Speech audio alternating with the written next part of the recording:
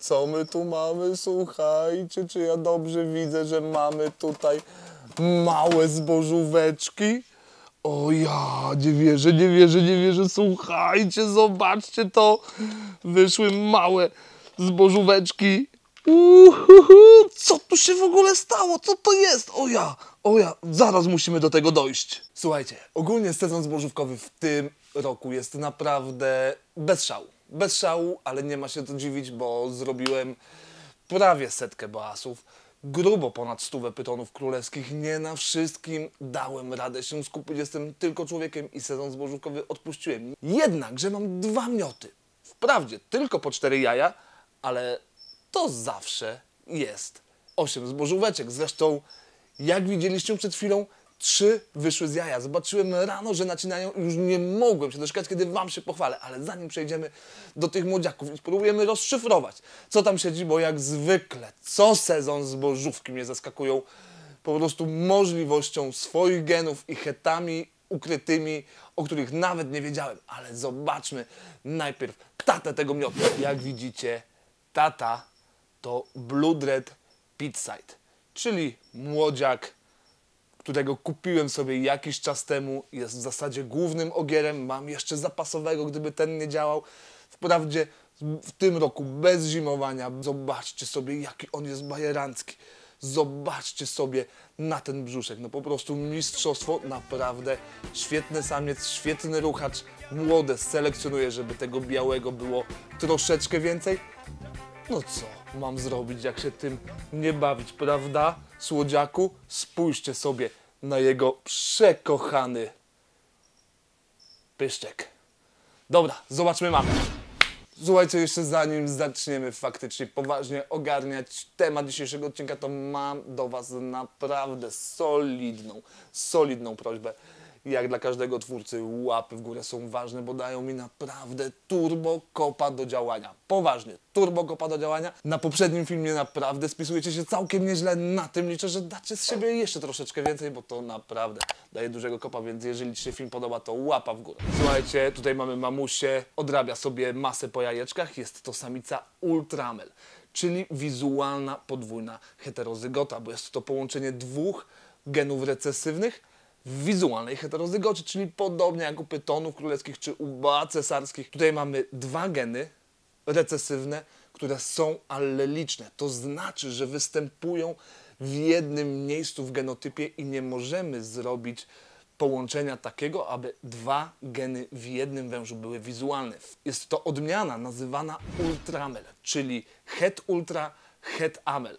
Jak widzicie, bardzo ładny wężyk, bardzo ciekawy. Nie mogę się doczekać, kiedy będę w stanie zrobić to w Blood Red Pizzaidzie. Zobaczymy, jak to będzie wyglądać, bo naprawdę jestem przeciekawy, chociaż pewnie już jest, ale chcę zrobić swoje. Wiecie, jak to jest. To dobra, przejdźmy do tych maluszków i zobaczmy, co w nich drzemie. W ogóle obczajcie, mam koszulkę. Patryk ze SpongeBoba. A co? Siema! Dobra, przechodzimy do młodziaków, robimy to, zobaczmy, co tam w ogóle u nich się dzieje, co mi wyszło, bo to jest naprawdę mega, mega ciekawe. O ja, zobaczcie, co tu się dzieje, słuchajcie, w ogóle to jest niesamowite. A jeżeli jest wśród Was jakiś widz, który ogarnia zbożówy, to proszę pomóżcie mi, bo ja jestem prawie pewien, że mamy tutaj Diffused Ultramela, tak? Dobrze widzę? Uuu, podświetlmy to trochę bardziej. Hmm. Zobaczmy. No, ej, słuchajcie. Czy to możliwe, że może być Diffused Ultramel? Tutaj może Ultramel, ale tutaj w ogóle mega niespodzianka. Zobaczcie na tego ślicznotka. Zobaczcie go w ogóle. Ej, tutaj mamy... Brzdącu, nie uciekaj. A ty gdzie uciekasz? Ej, tutaj mamy chyba ślicznego Amela. Może Amel Diffused? Kurde, naprawdę musimy zaczekać jeszcze na pierwsze wylinki. Oja, oja, oja. Czekajcie, bo mi młodziaki tutaj zwiewają. Ej, cztery. Oj, nie cztery, przepraszam. Słuchajcie, słuchajcie, słuchajcie w ogóle, co tu się dzieje. A, słyszycie świerszcze? No co, są tutaj. Dokładnie. Pająki też muszą coś jeść. O ja, o ja, o ja, zobaczcie, zobaczcie, zobaczcie. Słuchajcie, mamy trzy. Mamy tylko trzy młodziaki. Zostawimy je tutaj. Tutaj mamy jajeczko, które będziemy musieli chyba naciąć. Dobra, odstawimy sobie je. Ja już lecę po nożyczki dezynfekować i zobaczymy, czy w środku jest żywy maluch. Poważnie, słuchajcie. Zobaczymy sobie. Nie wygląda źle. To jajeczko też nie śmierdzi. Schowam tylko tego maluszka, który tutaj zwiał. Ale się rozpełzły łobuzy. Bo zobaczcie, tutaj no, cały czas mi śmigają. Ciężko je zapakować. Dobra, te jajeczka możemy wyrzucić. To możemy wyrzucić. To możemy wyrzucić. w ogóle, ej, zobaczcie tutaj. Poważnie. Jak sobie śmiga. Ja nagrywam jajo, a gość sobie właśnie tutaj pocina. O ja. o, ale to dobrze wygląda. Dobra, zróbmy to nacinanie, bo mi się zaraz wszystkie rozejdą. Chodźcie tutaj brzdące, małe, trzy. Uuu, okej. Tutaj, jak widzicie, mamy pustą, pustą i pustą i puste jajeczko. Zobaczmy, co się dzieje w tym, bo aż jestem ciekawy. Czy tutaj jest jakiś wężyk? Kurde. No jajko bardzo nie śmierdzi. Słuchajcie, często tak jest, że czasami młodziak może sobie nie wykształcić e, tego zęba jajowego, dlatego zobaczymy, czy w ogóle coś tam jest. Natniemy delikatnie. Nożyczki mamy wyczyszczone. Natniemy sobie to naprawdę bardzo delikatnie i zobaczymy. Powąchajmy. Kurde, powiem wam szczerze, że sam nie wiem. Zobaczmy, czy jest tutaj jakiś mały wężyk. U, wiecie, że kurde, naprawdę chyba ze dwa razy w życiu nacinałem jajka z bożówek i naprawdę nie wiem, co mnie tam może czekać. Oj.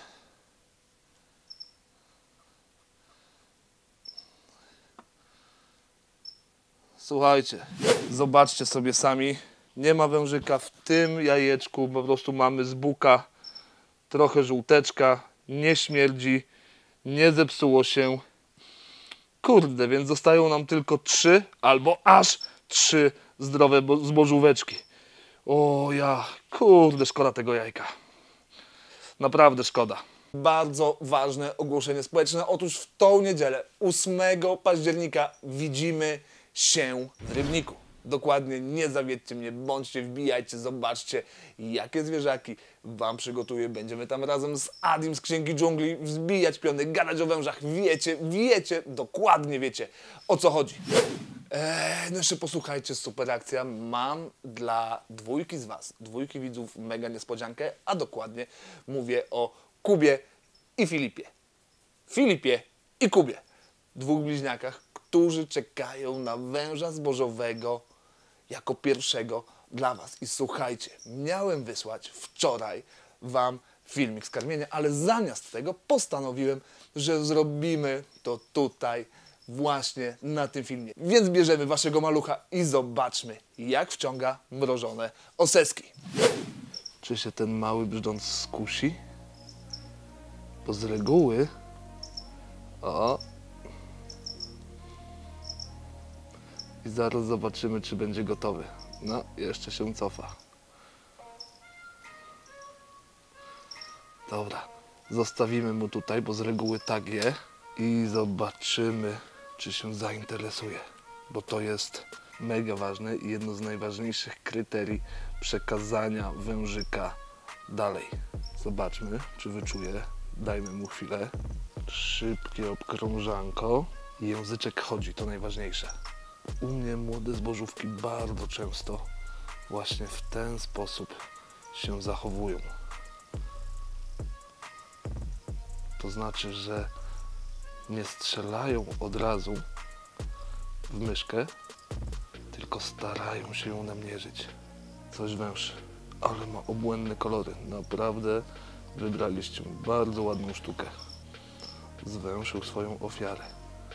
Postara się teraz namierzyć główkę i ma.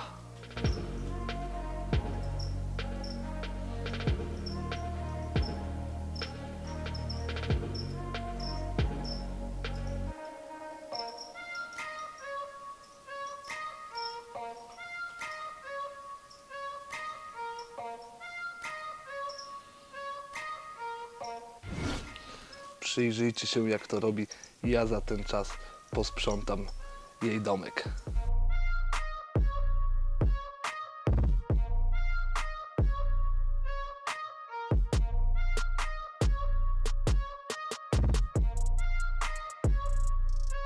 Ogólnie najlepsze jest to, że naprawdę niewiele rzeczy jest w stanie przeszkodzić młodej zbożówce w konsumpcji. Ogólnie w jakiejkolwiek zbożówce.